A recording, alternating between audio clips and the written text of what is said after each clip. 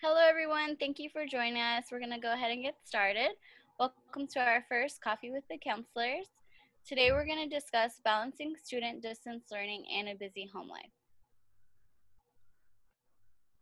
So, we'll get started and introduce ourselves. My name is Andrea Rodriguez, and I'm the school counselor at Garrison, San Luis Rey, and Reynolds Elementary. Um, I'm also an Oceanside School District parent. I have a daughter in seventh grade at King Middle School and three boys, um, all at Ivey in elementary school. And I have a fifth grader, a third grader, and a second grader. Hello, everybody. My name is Nicole Vergara, and I'm the school counselor at Nichols and Del Rio. That's my photo on the right. That's a picture of myself, my husband, and my dog, Russell. Hi everyone, my name is Jennifer Hatfield and I'm the school counselor at Palmquist and Foussat Elementary. That's my picture down there at the bottom and I have three kids, one in 12th grade, one in 10th grade, and one in 8th grade. All right, so we wanted to kick off this workshop series with talking about balancing distance learning and a busy home life. This is such a new experience for many people, so we wanted to start exploring some of the common challenges that we heard families um, reaching out to us for, and we wanted to look for ways that we can support this balance of distance learning and having a busy home life, but also supporting social and emotional needs. So we wanted to create an easy acronym to remember, so we came up with CHAOS. So we will focus on ways to gain control of the chaos. So C is creating priorities. H is having patience for yourself and your children. A is allowing everybody their space. O is organizing your student and home work life. And S is seek help when needed. So the C is create your priorities. During this time of distance learning, we might have multiple priorities that we're trying to juggle. We can have many competing priorities, such as caring for our children, working from home, finding a job if people have lost their employment, caring for other family members, health concerns, financial concerns, bills still need to be paid. And on top of that, we are all coordinating our students' distance learning. Every family and situation look different, so priorities might look different for everyone. An important thing that we can do during this time is to set our priorities for our own family situation. We wanted to bring up Maslow's hierarchy of needs during this discussion of managing priorities to highlight that everyone might be focusing on different needs during this time, and that's okay too. Abraham Maslow's theory of human motivation suggests that the higher needs come to focus once those lower needs are met. So Maslow suggested that deficiencies in these lower areas need to be addressed as well or could lead to potential stress or anxiety. As humans, we want to make sure that we've met our basic needs. And that might mean making sure food is available, making sure we're having enough sleep. Um, we're concerned about our family's health or our own health. We want to make sure our safety needs are met. Um, you know, how is our housing situation? Are we living in a safe neighborhood? Um, are kids in a safe environment while we're working? Are they being cared for? Also do we have employment or job security? And social belonging. Do we have family and friends that we can um, lean on or or also a community that we belong to? And is our uh, family home environment calm and warm? And this leads to other things that we can do as well. There's also one thing that we can focus on our priorities is things that we can control versus things that we can't control. There's many things that might seem out of our control right now. It can make us get easily overwhelmed if we focus on all the things that we can't control. So during this time, um, especially with the stay at home order, we're wondering when things are going to resume. A lot of things might seem out of control. I don't know about you guys, but when there wasn't any toilet paper, I felt like there was a lot of things out of our control. Um, we can see continued news reports um, that might f- make us feel overwhelmed, and that might seem out of our control as well. But we don't want to stay in that mindset, and we want to continue to focus on things that we can control, not on things that we can't control. This can make us feel overwhelmed and anxious if we keep focusing on the things that we can't control. So we want to focus our attention. And so, for example, the stay at home order, I can focus on my feelings, my self care, my own social distancing instead of focusing on maybe the specific things that we can't control. Um, I can control how much time I spend watching the news or on social media versus times maybe that make me feel better and happy, like spending time with my kids. Um, with distance learning, there's a lot of things that might feel out of our control. We're all learning new things, new technology.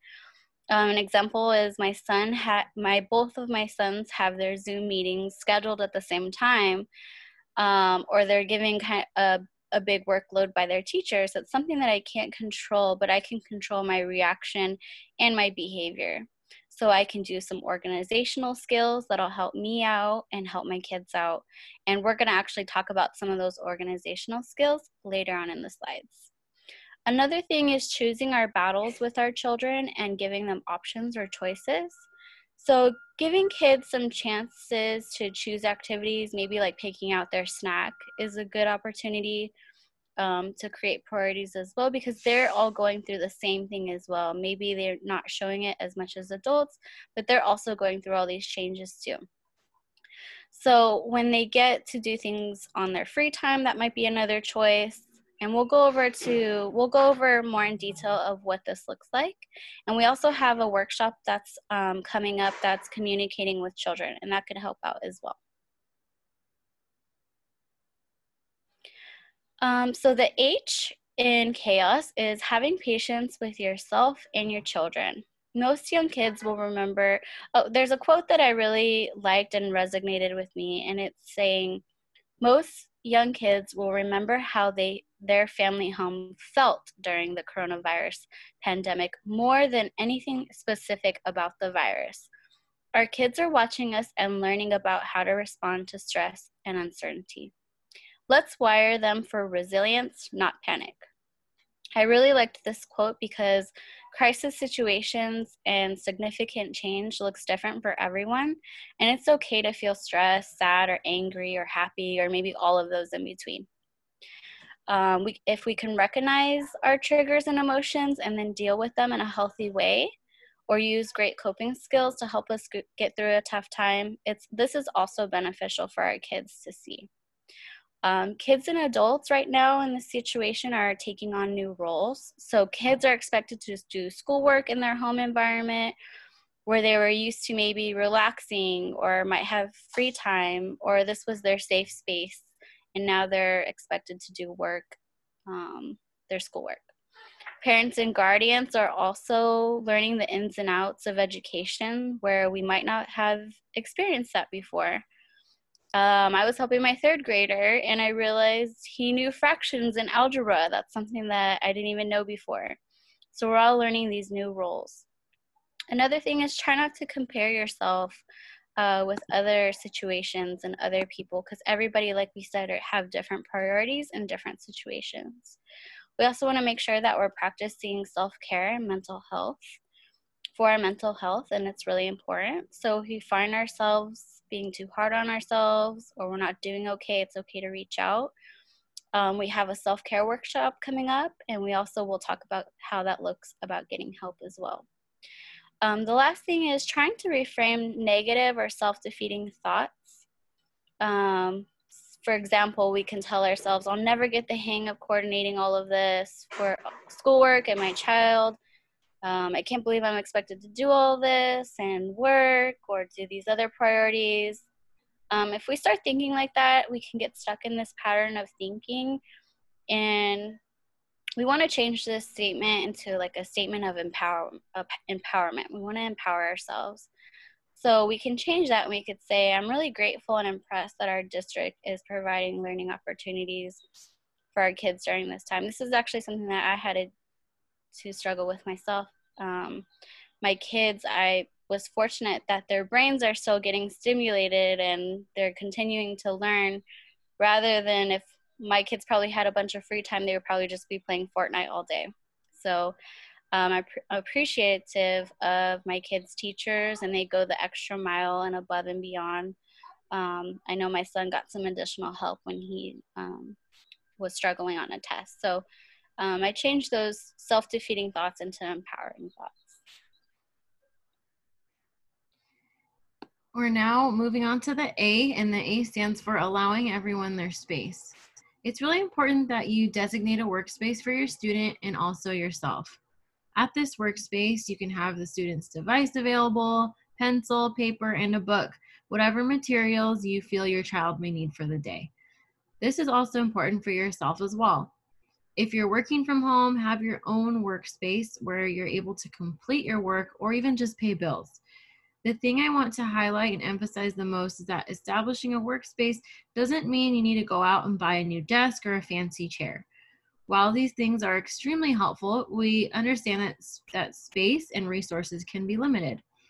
For example, for myself, I live with many other family members, and the only place I can really get any work done is my room.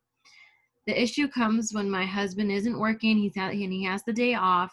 He loves to just lounge, and it was becoming a distraction when he would be sleeping in the background of my Zoom meetings. So, what I had to do was shift my little desk at a certain angle so that my closet was now the background and not my husband. And that little adjustment has really helped. After you've established that workspace, it's important that you also identify your relaxation space a space where you know you will focus solely on yourself, not thinking about work and all the things you have to do. I really want to emphasize separate. For example, going off my own experience again, my workspace is in my bedroom, and my bed is where I like to just relax and watch some TV, read a book. And because my two spaces are so close together, sometimes I can get tempted to bring my Chromebook to bed and do work but it's so important to keep those two separate and remind yourself that one space is for work and the other space is to relax. Lastly, communicate these boundaries with your family so everyone is aware of each other's designated spaces. Have these conversations with your child so everybody's on the same page.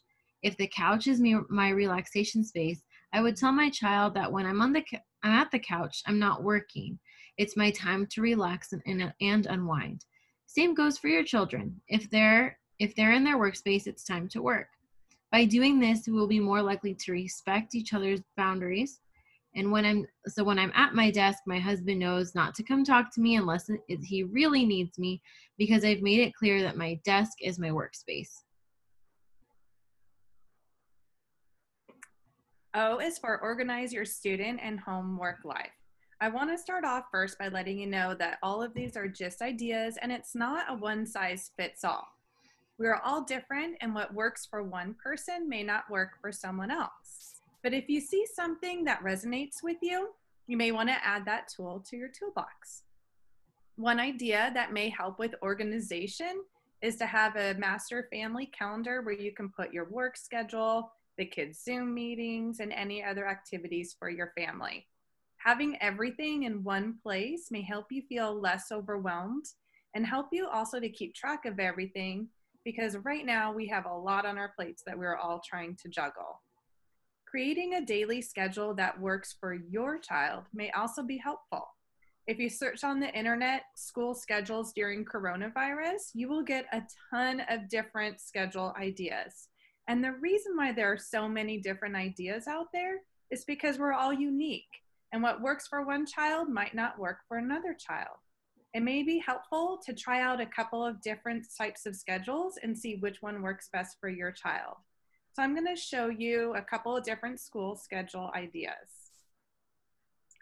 Here's an example of a possible schedule that may or may not work for you. You might look at this and think to yourself, yes, where has this been all my life? This is exactly what I needed. Or you might look at this schedule and think, whoa, that will never work for me or for my child. You know you and your child best. So, again, it's important to find something that works best for you and your child at your home. All of our kids are unique and different. One child might need a lot of structure with times and activities written down all day long. However, some kids work better with more flexibility where they get to pick which activity on the schedule they would like to complete first or last. The first schedule example here on the screen can be modified to be more or less detailed. You can customize it to fit the needs of your child. So you can add a column in this schedule to add specific times in if you want, or you can add some rows in there to include lunchtime, chores, or any other activities that you would like to add. Having to learn from home has presented parents and kids with all sorts of new challenges. One of them may be the struggle of feeling like you are always having to check in with your kids constantly every day to see if they have completed all of their assignments. You may feel like all day long you're having to ask your kids, Did you finish math? Did you finish reading? Did you take your AR quiz yet? And this can create a lot of stress, friction, and power struggles with you and your child. I want to share a part of this schedule that you might find helpful if you've been experiencing any of these issues with your child. And again, this is not a one size fits all. This is just one possible tool among many for you to explore. This calendar that you can see on the screen is actually a Google Doc that you're able to share between you and your child. With this calendar, you can start off the day by highlighting all the items that need to be completed in yellow. And as your child completes each item for that day, they then can change the highlight color from yellow to blue. Since this is a shared document, parents and caretakers can see in real time what their child is completing throughout the day. So you no longer need to ask them, Did you complete your math work today? You may even want to write in this document to your child words of motivation like, Nice job completing the reading assignment or keep up the good work. Using the highlighting option can also be helpful for kids to feel a sense of accomplishment, as well as to help keep them organized with what they need to complete for each day. You can also directly put links to items in this calendar, such as their Zoom or Google Hangout links. As we scroll down, you can see that we added a brain breaks section in it and it's important that our kids have breaks throughout the day. What's nice about this section is that your kids can access on their own an array of brain breaks by clicking on the links directly on this document. We included some movement ideas, art and creativity ideas, and we also have some social and emotional activities. As you can see under the social emotional ideas, there are some links to the websites for your school counselors and all of our websites have lessons, activities, and tools regarding in regards to social emotional. And if you like, you are welcome to visit any of our these school counselor websites and utilize any of the materials or lessons in them. As we scroll down a little more, you can see here is another possible schedule option for you. Now this calendar was made on a free website called schedulebuilder.org and it was extremely easy and quick to use. I'm not really good with technology, but I was actually able to figure this out on my own pretty quickly. So it's nice, it's very user friendly.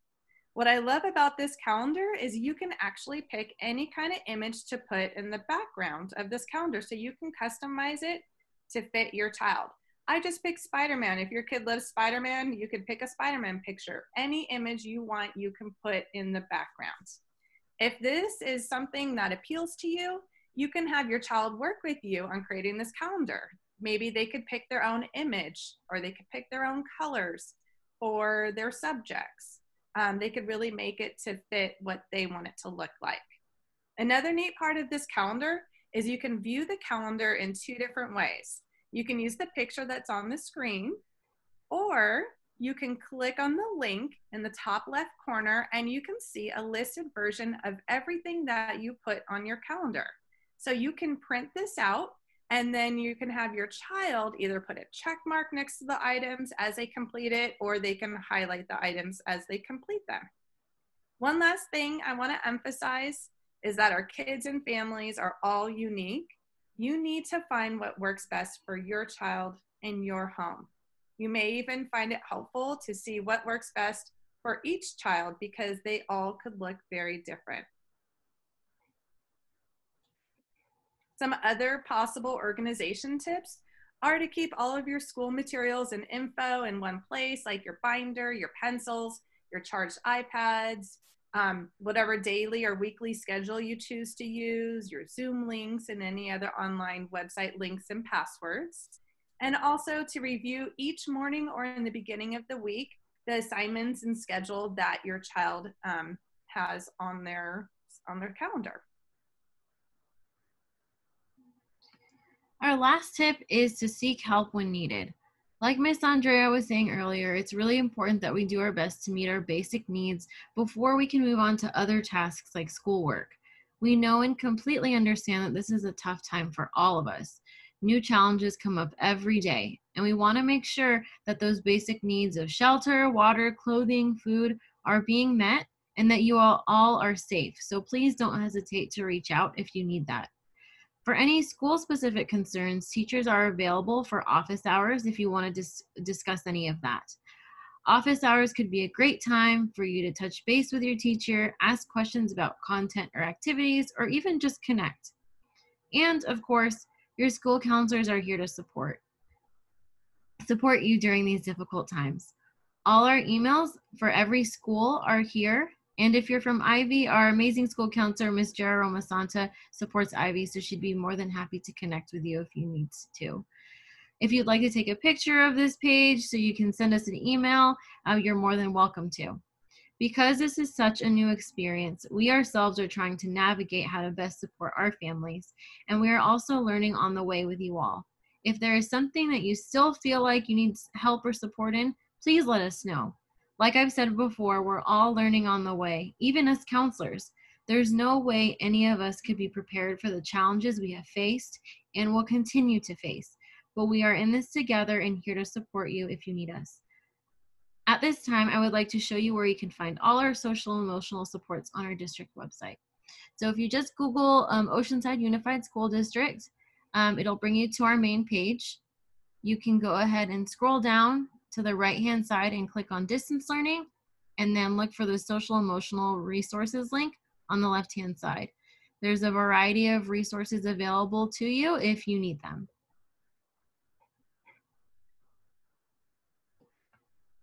On behalf of all of the Oceanside Elementary School counselors, we want to thank you for attending our first virtual workshop. We hope that you leave this workshop not only with a few new tools to add to your toolbox, but also understanding that we're encountering right now is very difficult and you're not alone in those feelings. We also hope that you remember to have grace and patience with yourself as you are not working from home. You are at home during a crisis trying to work. We hope that you'll be able to join us again this Thursday for our next Coffee with the Counselors virtual workshop. Our topic this Thursday is self care for parents. During this workshop, we will discuss the challenges we have been having as a result of the coronavirus. We have all experienced different levels of trauma during this pandemic. We will be learning about how this stress affects us and our relationships, the importance of self care, and learn different ways that we can practice self care. Lastly, we would love to get your feedback on this workshop, which will help guide us for future workshops. So if you have a chance to copy the link on the screen right here and um, fill out the survey, we certainly would appreciate it. Thank you. And again, we look forward to seeing you this Thursday at 4 p.m.